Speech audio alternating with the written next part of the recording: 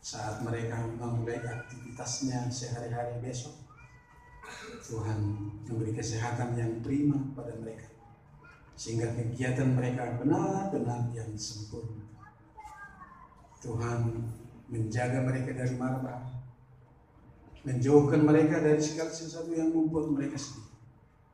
Tapi mereka bersemangat menunjukkan kualitas imannya tengah-tengah keadaan bangsa kami sekarang.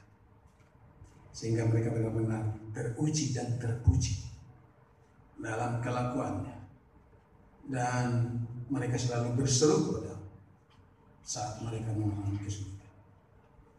Dengarkanlah seruan mereka setiap pagi kan mereka hendak berangkat ke kantornya setiap malam saat mereka hendak berbaring di peraduannya Tuhan.